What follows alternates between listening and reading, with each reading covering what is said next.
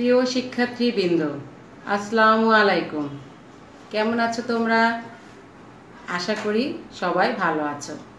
আমি উম্মে সালমা। তোমাদের পাঠ্যপুস্তক প্রাথমিক গণিত বিষয়ে অনলাইন ক্লাসের জন্য স্বাগত।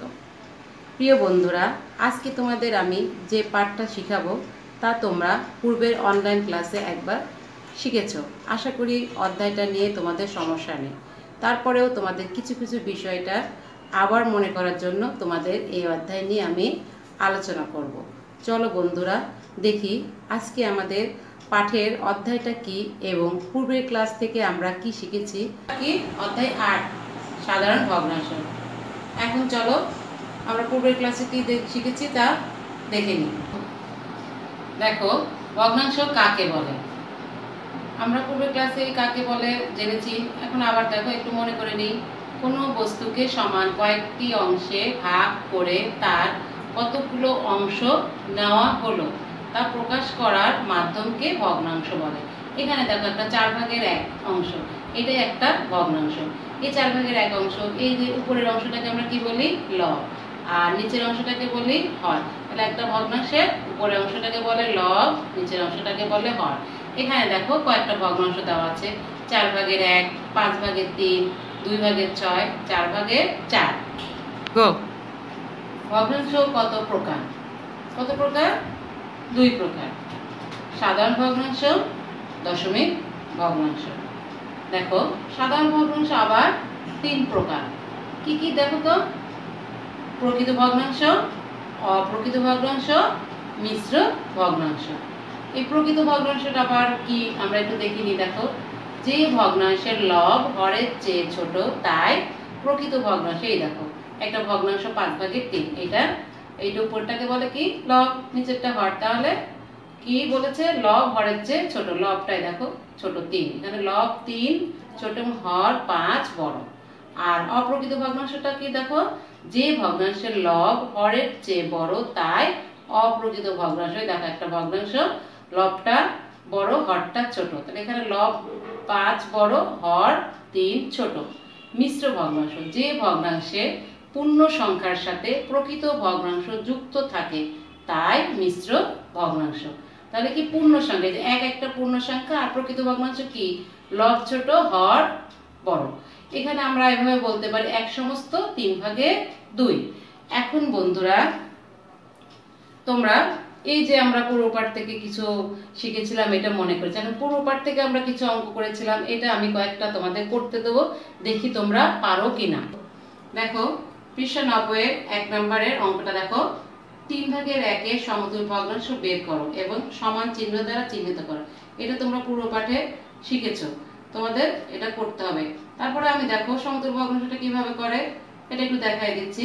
কোনো ভগ্নাংশের লব ও হরকে একই সংখ্যা দ্বারা গুণ বা ভাগ করে ওই ভগ্নাংশের সমতুল ভগ্নাংশ পাওয়া যায়। আচ্ছা তোমরা করো, দেখি। এখন দেখো তো, তোমরা মিলায় নাও। এইভাবে করেছ কিনা? তিনের সমতুল ভগ্নাংশ কি? তিনটা চাইলে তিনটা করব, আর চারটে চাইলে চাইলে তো প্রথমে দাও একটা, আছে এক দিয়ে। আমরা দুই দিয়ে করলে তোমরা করেছ কত হয়েছে? ছয় ভাগের দুই। তো তিন দিয়ে যদি আমি গুণ করি লব হরকে কত হয়েছে? নয় ভাগের তিন। আবার চার দিয়ে করলে কত হয়েছে? বারো ভাগের চার। এরকম করে করেছ তো? হ্যাঁ এই তো। তাহলে কি? তিন ভাগের একের সমতুল ভগ্নাংশটা কি? ছয় ভাগের দুই হয়েছে তোমাদের? হুম। নয় ভাগের তিন হয়েছে একটা? হ্যাঁ বারো ভাগের চার। গুড। এখন উত্তরটা এভাবে কি লিখেছো? আমার সঙ্গে কি মিলেছে তোমাদের? গুড। আর একটা করতে দিই। দেখো, পৃষ্ঠা একশো একের তোমাদের পূর্বের ক্লাসে করানো হয়েছে। এখন দেখি এটা তোমরা পারো কিনা। কি ক্যাপশনটা কি আছে? সমহার বিশিষ্ট ভগ্নাংশে রূপান্তর করো এবং ছোট, সমান, বড়, প্রতীক ব্যবহার করে ভগ্নাংশগুলো তুলনা করো। অঙ্কটা দেখো এক নম্বরে দুই নাম্বারটা তোমরা করো। চার ভাগের তিন ফাঁকা ঘর, ছয় ভাগের পাঁচ। এই ফাঁকা ঘরে কি বসবে? এটা আমি গত ক্লাসে যেভাবে নিয়ম করে শিখিয়েছিলাম, তোমরা করো দেখি। প্রশ্নটা সবাই দেখো। দেখো তো তোমরা এইভাবে করেছ কিনা? এই হরগুলো কি করেছ? লসাগু করে নিয়েছো এইভাবে। তারপরে সমহারের নিয়ম অনুযায়ী তোমরা অ্যান্সারটা করেছ। দেখো, এভাবে করেছ?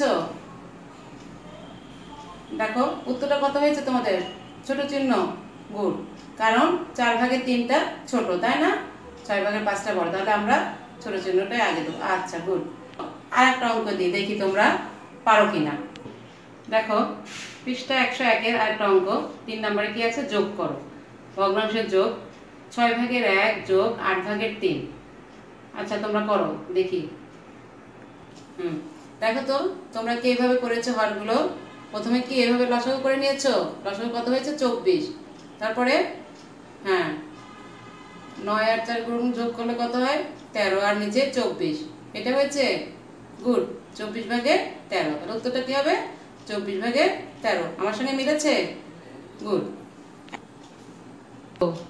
চলো আজকের পাঠের বিষয় আমাদের কি আছে? দেখে নিই। দেখো।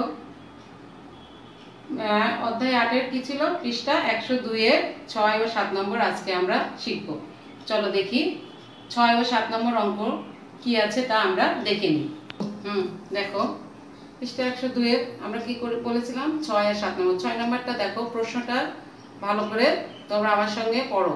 প্রশ্নটা বারবার না পড়লে তোমরা বুঝতে পারবে না যে কি করতে হবে। দেখো, সবুজের বাড়ি বিদ্যালয় থেকে আট ভাগের তিন কিলোমিটার পশ্চিমে অবস্থিত। মিতুর বাড়ি বিদ্যালয় থেকে বারো ভাগের পাঁচ কিলোমিটার পূর্বে অবস্থিত। এখানে দুইটা দেখো, এক আর দুই একে কি করতে বলেছে দেখো, সবুজের বাড়ি হতে মিতুর বাড়ি কত দূরে অবস্থিত? দুই নম্বরে বলেছে বিদ্যালয় হতে কার বাড়ির নিকটবর্তী? সবুজ ও মিতুর বাড়ি হতে বিদ্যালয়ের দূরত্বের পার্থক্য কত? এক নম্বরে কি বলেছে? আবার আমরা পড়ি, সবুজের বাড়ি হতে মিতুর বাড়ি কত দূরে অবস্থিত? দেখো, এখানে একটা চিত্র আমি এঁকেছি। দেখো, এখানে সবুজের বাড়ি, মাঝে বিদ্যালয়, তারপরে মিতুর বাড়ি। সবুজের বাড়ি কত? আট ভাগের তিন কিলোমিটার আর মিতুর বাড়ি বারো ভাগের পাঁচ কিলোমিটার। সবুজের বাড়ি থেকে মিতুর বাড়ি যেতে আমার পুরাটা পথ পাড়ি দিতে হবে। এখানে মনে করো যে সবুজের বাড়ি বিদ্যালয় থেকে দুই কিলোমিটার আর মিতুর বাড়ি বিদ্যালয় থেকে তিন কিলোমিটার। তবে আমি যদি সবুজের বাড়ি থেকে মিতুর বাড়ি যাই, তাহলে আমার কি করতে হবে? এই দুই কিলোমিটার পাড়ি দিতে হবে, এই তিন কিলোমিটার পাড়ি দিতে হবে। তাহলে মোট কত হবে? পাঁচ কিলোমিটার। তাহলে অঙ্কটা কি হবে? কি করব আমরা? যোগ। আচ্ছা ভগ্নাংশের যোগ করব আমরা। তাহলে দেখো এখানে আমরা সবুজের বাড়ি হতে মৃত্যুর বাড়ির দূরত্বটা লিখি কত? আট ভাগের তিন কিলোমিটার যোগ বারো ভাগের পাঁচ কিলোমিটার। এখানে আট আর বারো লসাগু করে এখানে চব্বিশ হয়েছে। তোমাদের আমি অনেকবার লসাগুর নিয়ম দেখিয়েছি। তারপরে এই লসাগুটা চব্বিশ কীভাবে হলো আমি পরবর্তী ইয়েতে দেখাই দেবো। দেখো, তাহলে লসাগু কত হয়েছে? চব্বিশ। এখন আমরা জানি যে ভগ্নাংশের যোগ বিয়োগ যেটাই করি।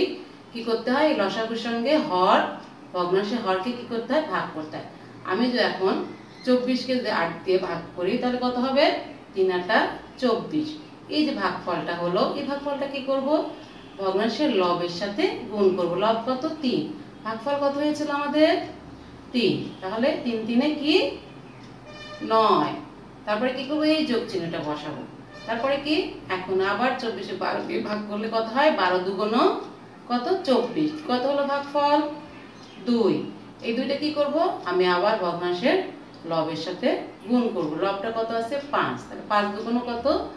দশ। এই যে দশ। তাহলে নয় যোগ দশ, নিচে কত? চব্বিশ। এখন আমরা কি করব?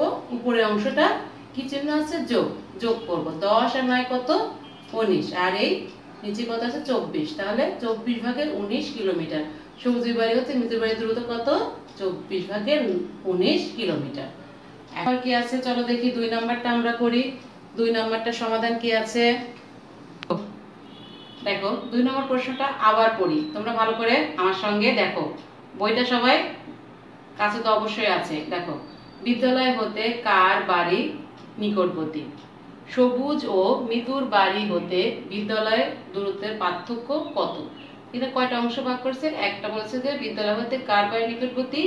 আর সবুজ মৃত্যুর বাড়ি হতে বিদ্যালয় দূরত্বের পার্থক্য দুইটা অংশ আমাদের এটা করতে হবে। নিকটবর্তী মানে কি? কাছে। কাছেটা কি? কম দূরে যেটা সেটা। কমই আমরা ছোট হিসাবে ধরি। তাহলে আমরা এখানে দেখো সমাধানটা কীভাবে? গত অনলাইন ক্লাসে কিন্তু আমরা এইগুলো একবার দেখিয়েছিলাম। তারপরে আবার তোমাদের আমি এটা মনে করার জন্য আবার করাচ্ছি। দেখো, সবুজের বাড়ি দূরত্ব কত? আট ভাগের তিন কিলোমিটার। মিতুর বাড়ির দূরত্ব বারো ভাগের পাঁচ কিলোমিটার। এখন আমরা এটা কি করব? এই ভগ্নাংশ দুইটার আট আর বারো কি করব? লসাগু করে নেব। কারণ আমার যে নিকটবর্তী, ছোট, বড় আমরা নির্ণয় করার সময় কি করি? সমহরের নিয়ম করে করি না? তাহলে সমহরের নিয়ম করলে অবশ্যই আমাদের লসাগু লাগবে। তাহলে লসাগু আমরা কীভাবে করি? ভগ্নাংশের হরগুলো সম না হলে আমরা সেটা লসাগু করি। যেহেতু এটা সমান না।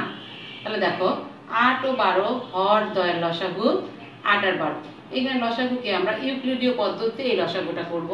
তাহলে দেখো, এটা আটও জোর সংখ্যা, বারো জোর সংখ্যা। আটের একাধিক গুণনীয়ক আছে, বারোর একাধিক গুণনীয়ক আছে। তাহলে আমরা এমন একটা সংখ্যা দিয়ে এখানে ভাগ করব যে দুইটাই নিঃশেষে বিভাজ্য হয়। তাহলে দুইটা যেহেতু জোর সংখ্যা, আমরা প্রথমে সবচেয়ে ছোট জোর সংখ্যা দিয়ে এটা ভাগ করি। দেখো দুই দিয়ে যদি আটে ভাগ করি, কত হয়? চার দুগুণ আট যে চার। আবার দুই দিয়ে বারো ভাগ করলে কত হয়? ছয় দুগুণ বারো যে ছয়। তাহলে কত হলো? চার আট ছয়। এখন আবার দেখো, আমি যদি আবার দুই দিয়ে করি, দুইটাই তুমি মিলে, দেখো। দুই দিয়ে চারে ভাগ করলে কত হয়? দুই দুগুণ চার। দুই দিয়ে ছয় ভাগ করলে কত হয়? তিন দুগুণ ছয়, তিন। এখন দেখো, আর যায় না, কারণ দুইটাই হচ্ছে মৌলিক সংখ্যা। এখন আমরা লসাগুর নিয়ম কি জানি? এখানে যে আর থাকে সেটা তো অবশ্যই নিতে হবে, আর বাকি অংশগুলো আমাদের গুণ করতে হয়। তাহলে দেখো, এই দুই এই দুই গুণ দুই গুণ তিন। তাহলে কত হলো? তিন দুগুণ ছয় ছয় দুগুণ বারো বারো দুগুণ চব্বিশ। তাহলে আমাদের লসাগু কত হয়েছে? নিম্নের লসাগু চব্বিশ। এখন আমরা সমহারের নিয়মটা করব। দেখো, চব্বিশ ভাগ আট সমান কত হয়েছে? তিন। এখন দেখো, আমরা কি জানি? সমহারের নিয়মে কি জানি? ভাগফলটা, লসাগু দিয়ে ভগ্নাংশের হরকে ভাগ করলে যে ভাগফলটা হয়, ওই ভগ্নাংশকে আবার আমরা একবার লবের সাথে গুণ করব, একবার হরের সাথে গুণ করব। আমরা ভগ্নাংশ আট ভাগের তিনটা বসিয়েছি, তাহলে আর ভাগফলটা হয়েছে তিন, দুইটা গুণ করব। দেখো, তিন গুণ তিন সমান কত? নয়। আট গুণ তিন সমান চব্বিশ। তাহলে আমাদের এই ভগ্নাংশটা চলে গেল। এখন আবার আমরা বারো ভাগের পাঁচ কিলোমিটারটা করব। লসাগু কত হয়েছে? চব্বিশ। চব্বিশ ভাগ হর কত? বারো। এই যে বারো। ভাগ তাহলে বারো দুগুণ চব্বিশ। ভাগফল কত হলো? দুই। এখন এই ভগ্নাংশটা আমরা আবার এখানে বসাবো। কত? বারো ভাগের পাঁচ। এখন এই ভগ্নাংশ কি করব? একবার লবের সঙ্গে দুই গুণ করব, একবার হরের সাথে দুই গুণ করব। এখন দেখো, পাঁচ গুণ দুই সমান কত? দশ। তারপরে বারো গুণ দুই সমান কত? চব্বিশ। তাহলে এখন দেখো, এখানে তাহলে কি হলো? আমরা জানি কি, যদি হরটা সমান হয় বা সমহর হয়, তাহলে লব যেটা ছোট, সেইটাই ছোট। আর হর যেটা বড়, সেটাই বড়। তাহলে এখানে দেখো, এখানে নয় ছোট, এখানে দশ বড়। তাহলে এইটা ছোট এটা বড়। এখানে দেখো, তাহলে নয় ছোট চিহ্ন দিয়ে দশ। সুতরাং তাহলে আমরা কি করতে পারি? এই সমহরটা দিয়ে আবার দেখায় নয়, চব্বিশ ভাগের নয় ছোট চিহ্ন, চব্বিশ ভাগের দশ। বা আমরা মূল ভগ্নাংশে আসব, যেহেতু আমাদের এই ভগ্নাংশটাই করতে বলছে। ছোট কোনটা আট ভাগের তিন। আট ভাগের তিন ছোট চিহ্ন বারো ভাগের পাঁচ। বা যেহেতু বলেছে যে সবুজের বাড়ি সবুজ মৃত্যুর বাড়ি হতে বিদ্যালয় দূরত্বের পার্থক্য, এখানে হচ্ছে বিদ্যালয় হতে কার বাড়ির নিকটবর্তী? তাহলে দেখো, সবুজের বাড়ি আছে, সবুজের বাড়িটা কি? ছোট। সবুজ কোনটা আট ভাগের তিন। তাহলে সবুজের বাড়ি ছোট মৃত্যুর বাড়ি। তাহলে সুতরাং কি হবে? সবুজের বাড়ি নিকটবর্তী। এখন চলো আমরা এই অংশটুকুন করলাম। বিদ্যালয় হতে কার বাড়ির নিকটবর্তী? এই অংশটা আমাদের হয়ে গেল। এখন সবুজ ও বাড়ি হতে বিদ্যালয় দূরত্বের পার্থক্য কত? চলো এটা আমরা করি। এখন দেখো সবুজ ও বাড়ির দূরত্বের পার্থক্য। এই যে আমরা পার্থক্যটা বের করি যে যে কোনো অঙ্কের ক্ষেত্রে ভগ্নাংশ বিয়োগ বলো ভগ্নাংশের ক্ষেত্রে বলো সাধারণ সংখ্যার ক্ষেত্রে বলো, আমরা পার্থক্য বের করতে হলে কি করি? বড় সংখ্যাটার সঙ্গে ছোট সংখ্যাটা বিয়োগ দিই। তা আমরা পূর্বের পাঠ থেকে ওই শিখলাম, কার বাই নিকটবর্তী ওখানে কোন ভগ্নাংশটা বড়, কোন ভগ্নাংশ ছোট। তা আমরা শিখলাম যে যে বারো ভাগের পাঁচটা বড় আর আট ভাগের তিনটা ছোট। তাহলে বড় অংশের সঙ্গে ছোট অংশটা বাদ দেবো। তাহলে বারো ভাগের পাঁচ বিয়োগ আট ভাগের তিন কিলোমিটার। আর এই যে বারো ভাগের পাঁচ তার সমান, আমরা এটা সমহর করে নেব। সমহর করলে আমাদের অঙ্কটা সহজ হবে। তো বারো ভাগের পাঁচ সমান আমরা কত বের করেছিলাম? চব্বিশ ভাগের দশ। আর এই বিয়োগ দিলাম। মানে আট ভাগের তিন সমান কি বের করেছিলাম? চব্বিশ ভাগের নয়। তাই দেখো, সমহর হয়ে গেল। সমহরে আমার সহজ নিয়ম কি? লসাগু দুইটার মধ্যে একটা নিতে হয়। তাহলে লসাগু কত? চব্বিশ। আর আমরা এখানে যোগ থাকতো দশ যোগ নয় বসাতাম। যেহেতু এখানে বিয়োগ আছে, উপরের অংশটা পুরোপুরি আমরা শুধু চিহ্ন দিয়ে বসাই দেবো। দেখো দশ বিয়োগ নয়, আর নিচে চব্বিশ। এখন দশের থেকে আমরা উপরের অংশটা বিয়োগ দেবো, কত হবে? এক। আর এই নিচে চব্বিশ। তাহলে কত হলো? চব্বিশ ভাগের এক কিলোমিটার। অর্থাৎ সবুজ ও মিথুর বাড়ির দূরত্বের পার্থক্য চব্বিশ ভাগের এক কিলোমিটার। উত্তর কি? যেহেতু ওখানে দুইটা পার্ট আছে, আমরা উত্তর দুইটা পার্টে দেওয়া লাগবে, দেখো।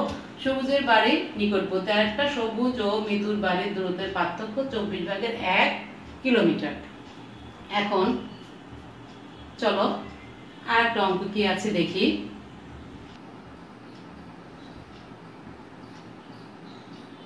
হ্যাঁ দেখো ওই যে পৃষ্ঠা একশো দুইয়ের সাত নম্বরটা কি আছে? প্রশ্নটা পড়ো। একজন কৃষক তার সবজি ক্ষেতে দুই ভাগের এক অংশে বেগুন চার ভাগের এক অংশে বাঁধাকপি এবং পাঁচ ভাগের এক অংশে ফুল চাষ করেন। এখন এক নম্বরে কি করতে বলেছে? কৃষক তার ক্ষেতের মোট কত অংশের চাষ করেছেন? দুই নম্বরে কি? কৃষকের সবজি ক্ষেতের কত অংশ খালি রয়েছে? আমরা সব সময় জানি মোট চাইলে সেটা কি? যোগ। যেহেতু এটা ভগ্নাংশ, আমরা এটা কি করব? ভগ্নাংশের যোগ করব। তিনটা অংশ, এই যে বেগুন, বাঁধাকপি, ফুল। এই তিনটা অংশ আমরা একত্রে লিখে এটা কি করব? ভগ্নাংশের যোগ করব। দেখো, প্রথমে আমরা সমাধানটা দেখো। এভাবে লিখব, কৃষক তার ক্ষেতে দুই ভাগের এক অংশে বেগুন, কমা দিবা, চার ভাগের এক অংশে বাঁধাকপি এবং পাঁচ ভাগের এক অংশে ফুল চাষ করেছেন। এখন আমরা ভগ্নাংশের লসাগু করার সময় কি করি? হরগুলো কি করি? প্রথমে লসাগু করে নিই। হর কি কি আছে? দুই, চার, পাঁচ। এই যে দুই, চার, পাঁচ, হর, ত্রয়। ত্রয় দিলাম কি জন্য? তিনটা। আর দুইটা হলে হর, দয়ের দিতাম। লসাগুটা তোমরা এইভাবে করবে। নির্ণয় লসাগু কত? দেখো, বিশ। এখন চলো অঙ্কটা আমরা মোট অংশটা বের করি। এখন আমরা একটু সাজিয়ে নেব কি? মোট চাষ করেছেন দিয়ে অংশগুলো বসাবো। দুই ভাগের এক অংশ যোগ চার ভাগের এক অংশ যোগ পাঁচ ভাগের এক অংশ। তো আমরা লসাগুটা পূর্বে ইয়েতে দেখলাম, কত বের করলাম? বিশ। এখন কি? এই যে ভগ্নাংশের হরকে এই লসার সাথে ভাগ করব, কত? বিশের সাথে দুই ভাগ করলে কত হয়? দশ। তাহলে আর একটা সহজ নিয়ম শিখে রাখো উপরের লব যদি এক হয়, তাহলে লসাগুর সাথে হর ভাগ করে যে রেজাল্টটা আসবে, সেটাই আমরা বসাবো। তাহলে ভাগ করলাম, বিশ দুই ভাগ করলে কত হয়? দশ। এখন আবার বিশের সাথে চারের ভাগ করলে কত হয়? পাঁচ। এখন দেখো পাঁচকে বিশ দিয়ে ভাগ করলে কত হবে? চার। তাহলে দেখো দশ যোগ পাঁচ যোগ চার। তাহলে কত হলো? এখন উপরের অংশটা যোগ করো, দশ যোগ পাঁচ যোগ চার। দশের পাঁচে পনেরো আর চারে কত? উনিশ। এই যে উনিশ। আর নিচের অংশটা কত? বিশ। তাহলে বিশ ভাগের উনিশ অংশ। সুতরাং কৃষক মোট চাষ করেছেন বিশ ভাগের উনিশ অংশ। উত্তর বিশ ভাগের উনিশ অংশ। এখন চলো আমরা দ্বিতীয় অংশটা দেখি। দেখো, দ্বিতীয় অংশটা কি বলেছে? কৃষকের সবজি খেতে কত অংশ খালি রয়েছে? এই যে খালি রয়েছে, আমরা খালি রয়েছে, পড়ে গেছে, নষ্ট হয়েছে, তাহলে কথাগুলো কি করি? বিয়োগ করি না, মোট অংশ থেকে যে অংশটা আছে সেটা বিয়োগ করে আমরা অবশিষ্ট অংশটা পাই। এখন দেখো, সমাধানটা কীভাবে করেছি? আমরা এক নম্বরের অংশটাকে কি করেছিলাম? এক নম্বর হতে পাই, কৃষক মোট চাষ করেছে কত? বিশ ভাগের উনিশ অংশ। কৃষকের তাহলে সম্পূর্ণ জমি, এই হয়ে গেছে তাহলে সম্পূর্ণ জমিটা কি? এক এক অংশ। তাহলে কি? সুতরাং খালি রয়েছে কি? এক বিয়োগ বিশ ভাগের উনিশ অংশ। এই যে এখানে এই ধরনের থাকলে একটা একটা পূর্ণ সংখ্যা, একের নিচে আমরা মনে মনে এক ধরবো। তাহলে এবং এই একটাকে আমরা হর মনে করব। তাহলে এক, এখানকার হর এক আর এখানকার হর বিশ। তাহলে লসাগু ডাইরেক্ট কি হবে? গুণ হবে। বিশকে বিশ। লসাগু কত? বিশ। এখন এই যে আমাদের এখানে আমরা মনে মনে এক ধরেছিলাম এই এক দিয়ে বিশে ভাগ করলে কত হবে বিশে হবে। তাহলে এখন ভাগফল কত হলো? বিশ। আবার এই উপরে লবটাও এক। এককে বিশ দিয়ে গুণ করলে কত হয়? বিশই হয়। বিয়োগ আর বিশ দিয়ে বিশে ভাগ করলে কত হয়? এক। এখন এই একে উনিশের সঙ্গে গুণ করলে কত হবে? যে লবটা কত? উনিশ। উনিশ এককে উনিশ। তাহলে কি হলো? বিশ বিয়োগ উনিশ। নিচে কত? বিশ অংশ। তাহলে বিশের থেকে উনিশ বাদ দিলে কত হয়? এক। আর এই বিশ। তাহলে কত হবে? বিশ ভাগের এক অংশ। সুতরাং কৃষকের জমি খালি রয়েছে বিশ ভাগের এক অংশ। উত্তরটা কি হবে? বিশ ভাগের এক অংশ। এখন, বন্ধুরা, তোমরা আজকে পাঠ থেকে অনেক কিছু শিখলে এবং পূর্বের ক্লাসে অনেক কিছু শিখছো। চলো দেখি আমরা এই পাঠ থেকে কি কি শিখলাম। আর একবার একটু দেখে নিই। দেখো আমরা আজকে যে অঙ্কগুলো করলাম এবং এই পাঠ থেকে কিছু শিখেছি, এটা আবার একবার দেখে নাও। কি শিখলাম? ভগ্নাংশ কাকে বলে? কত প্রকার ও কি কি? আর কি শিখলাম? সমতুল ভগ্নাংশ কি? আর কি শিখলাম? কীভাবে সমহর বিশিষ্ট ভগ্নাংশ নির্ণয় করা যায়? ওই যে আমরা সবুজের ওখানে নিকটবর্তী, ওখানে কিন্তু সমহার বিশিষ্ট ভগ্নাংশ শিখেছিলাম। আর একটা সমহার করে কীভাবে যোগ ও বিয়োগ করা যায়? সমহার করে কীভাবে ও বিয়োগ করা যায়, ওইটাও আমরা কিন্তু সবুজের অঙ্কটা শিখেছিলাম। এখন তোমরা এই যে শিখলা, আজকে যে আমি অধ্যায় আটের একশো দুই পৃষ্ঠা ছয় ও সাত নাম্বার তো তোমাদের শিখালাম। এটার উপর ভিত্তি করে তোমাদের আমি একটা অঙ্ক দেব। দেখি, যাচাই করি তোমরা সবাই পারো কিনা। যদি পারো তাহলে মনে করব যে আজকের অঙ্কগুলো তোমরা ভালোভাবে শিখেছ। চলো। দেখো, প্রশ্নটা আমরা আবার করে নিই। একজন কৃষক তার ফুল বাগানে চার ভাগের এক অংশ গোলাপ, দুইয়ের এক অংশ গাঁদা এবং পাঁচ ভাগের এক অংশে সূর্যমুখী ফুল চাষ করেন। কৃষক তার বাগানে মোট কত অংশ চাষ করেছে? তাহলে এখন তোমরা অঙ্কটা করো হুম, এখন দেখো তো, তোমাদের উত্তরটা বিশ ভাগের উনিশ হয়েছে কিনা? আর এইভাবে করেছ হ্যাঁ গুড আজকে আমাদের বাড়ির কাজটা কি আছে? অধ্যায় আট, পৃষ্ঠা নব্বইয়ের একের দুই নম্বর, নিচে। পৃষ্ঠা একশো একের একের দুই নম্বর রাইট পৃষ্ঠা একশো দুয়ের ছয়, সাত, ভাষায় চর্চা করবে। প্রিয় শিক্ষার্থীবৃন্দ, আশা করি তোমরা আজকের ক্লাসটা ভালোভাবে বুঝেছ। তোমরা সবাই নিয়মিত বাসায় চর্চা করবে। সবাই সুস্থ থাকো, ভালো থাকো। a la.